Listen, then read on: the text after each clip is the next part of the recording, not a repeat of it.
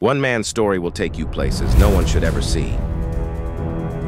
Take a journey with a former army contractor deep underground. Come and listen to the horrors that he saw.